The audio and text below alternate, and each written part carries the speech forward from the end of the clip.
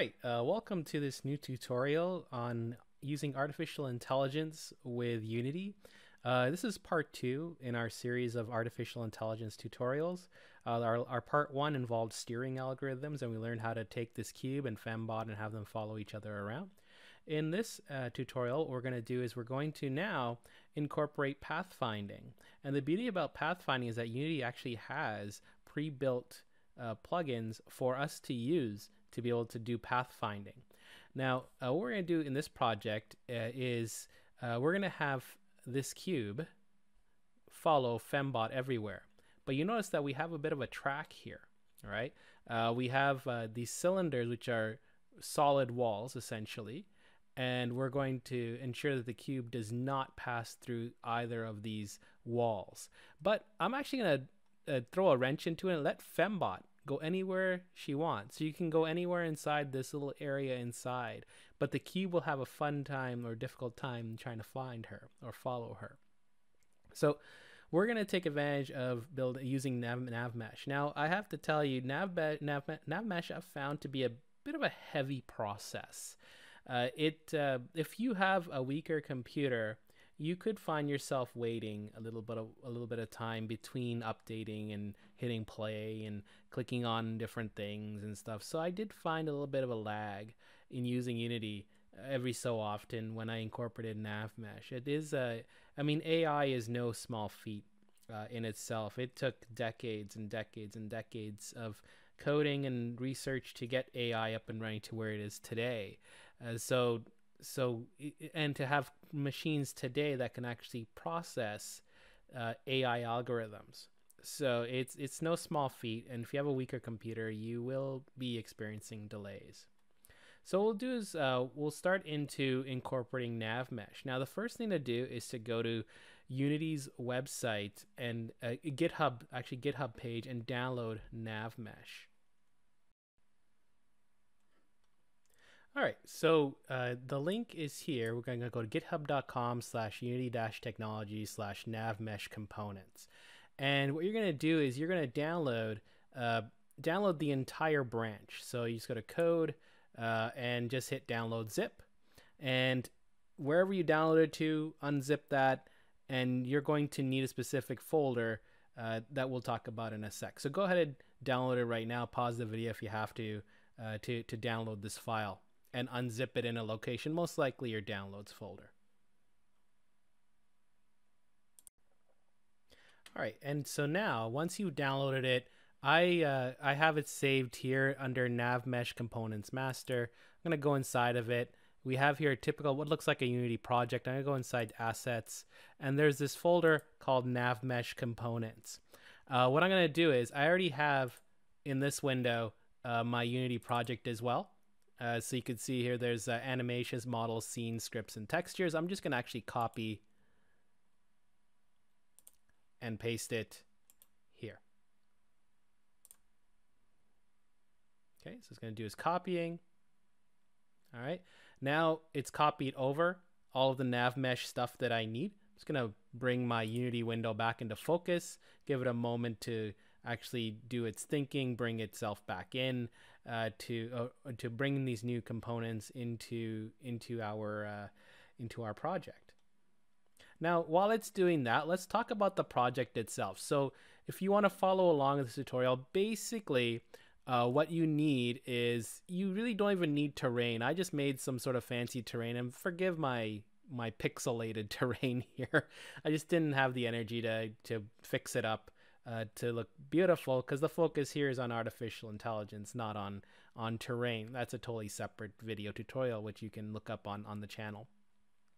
Uh, in the meantime, basically what you want to have is some sort of path, like I have here. Uh, I have these I have these cylinders, right, to make a path. I have Fembot right there, which uh, has which has uh, which has character controller built into it. already has character ability, uh, control ability to move keyboard keys up, down, left, and right. So I've already taken care of that. So you want to have a character that moves around the screen and just throw a cube also onto it. Uh, so that's your basic setup. So set up the project any way you wish, but basically you want to have something here uh, to be able to control and move your characters around.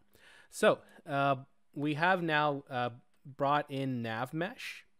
And what we want to do now is we want to bring, uh, we want to add AI to uh, to our, our uh, editor here. So if we go to Window, you'll see a, a component called AI and Navigation. So let's bring that in.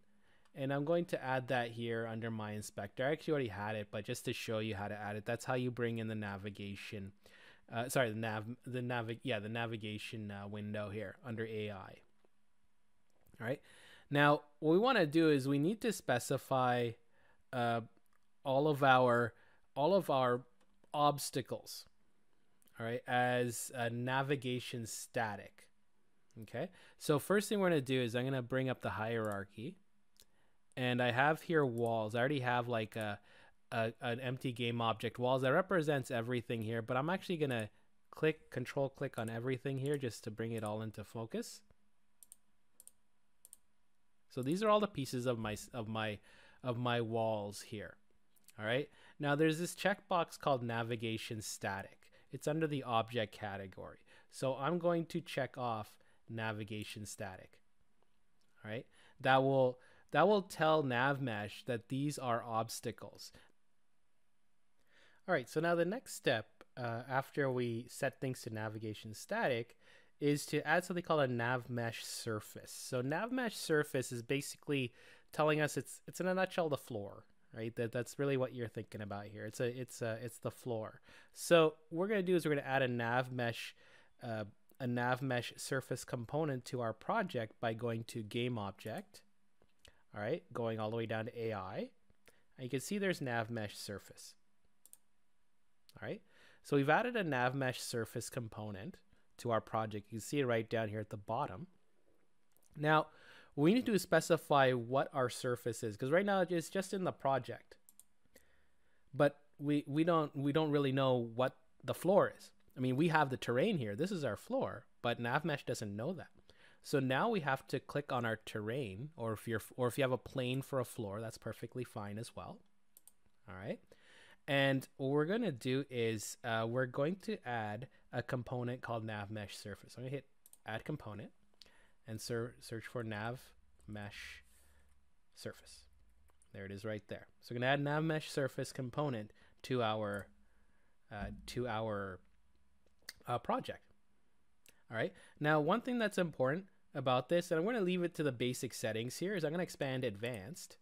And you notice that default area must be set to walkable. All right. So make sure that if it isn't, it most likely is, but if it isn't, uh, set it to walkable. All right. Now, if I scroll down here, we need to do is we need to hit bake. All right. And now here's the thing that that's important here. All right. Uh, make sure you only single click it like that. Don't double click it. I don't know if it's a bug in Unity. Uh, may, um, I haven't checked in 2020 to see if they fixed it in 2020, but I know for 2019, if I click this bake button again, it'll just do baking a second time.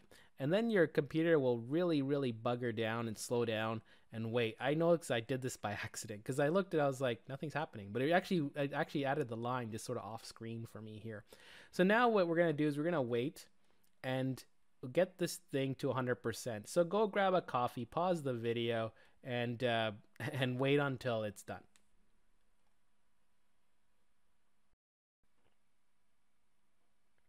All right, so that took about two and a half hours. Uh, so hopefully you went and actually had lunch, and heck, maybe even had dinner, and came back, and and uh, your baking was probably done by now. But but we have now baked our nav mesh uh, into into our uh, game world here. Basically, all that's going on with with baking the nav mesh is that uh, it's doing all these calculations to figure out what's walkable, what's not walkable, where are the obstacles, and it's using and it's calculating its own uh, pathfinding algorithm uh, to to figure out which where where and where our agents can go. And so uh, it does all this all this calculation. It takes a lot of processing. It's a very heavy process. It's using the A star algorithm to do that. The A star algorithm for pathfinding, which you can look up. Uh, you can Google it and, and and see what it's all about. But it's trying to make decisions on the paths that it wants to go to. Now our paths is very our path is very simple. It's just a square, right? So it's just going around this uh, this uh, this road, so to speak, over here, and that's all it's doing.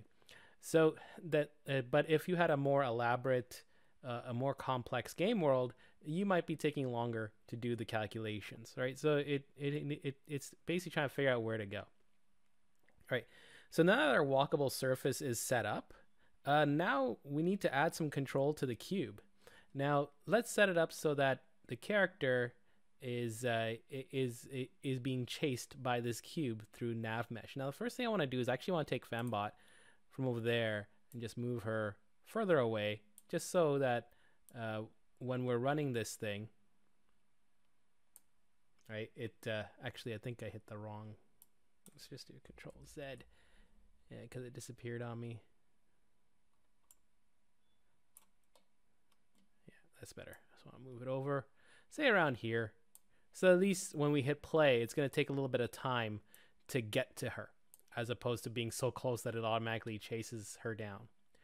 So, all right, so we have that. Now let's set up our cube to be a nav mesh agent. All right, but to do that, let's add a let's add a couple of settings to the cube. So let's click on the cube for a second here. Uh, we're going to add a rigid body.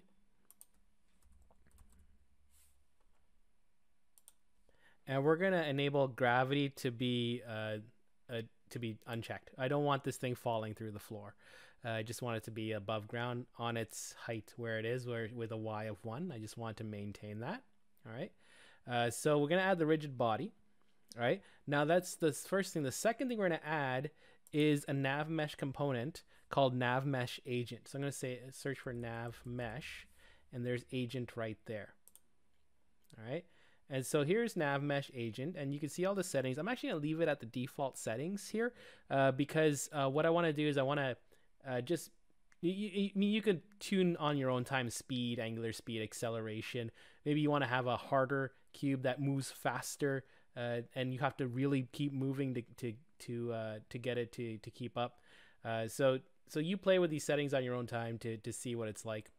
But essentially, just adding NavMesh agent is enough to tell the game that, hey, this is the guy that's going to start chasing down what you need to chase down. Now, we need to set something up to chase things down. Well, what we're going to do is we're going to set up a new script.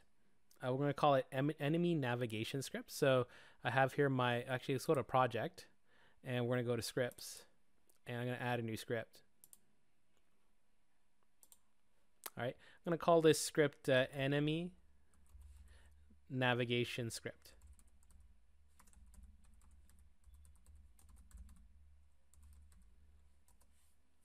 And we'll give it a second to think. All right, and double click on the script to open up in Visual Studio. And the script will be very simple. All right, let's first declare a couple of class variables here. So we'll say uh, public transform player. All right. And the second will be uh, uh, Unity engine AI nav mesh agent. And I call it nav. All right. I could have probably just said using Unity.ai, uh, but uh, we'll go this way. All right. So we have here our two uh, our two class variables. So one's gonna be the player uh, that and this is essentially be Fembot because we're to be chasing Fembot all the time. All right. And our nav mesh agent will be uh, our, our cube's nav mesh agent.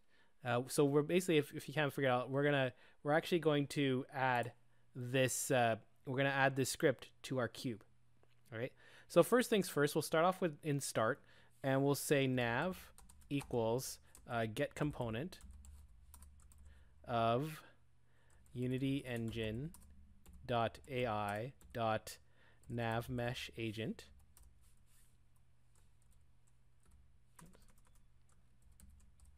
All right. And in update, we're going to say nav dot set destination. That's it. Just this method called set destination. For player dot position. That's it for our script. So this script is basically saying all we're going to do is chase down or just move to wherever the player is. So I keep moving Fembot around. It's just going to keep moving and moving and moving. All right. So now let's attach the script to Fembot.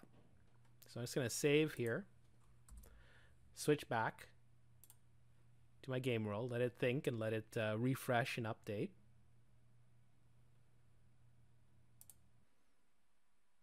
All right, so now uh, let's add this script to our cube. So I'll switch over to hierarchy and let's highlight our cube. So our cube over there and let's add this new script. So we called it enemy navigation script and it's asking for player. Player will just be fembot. All right.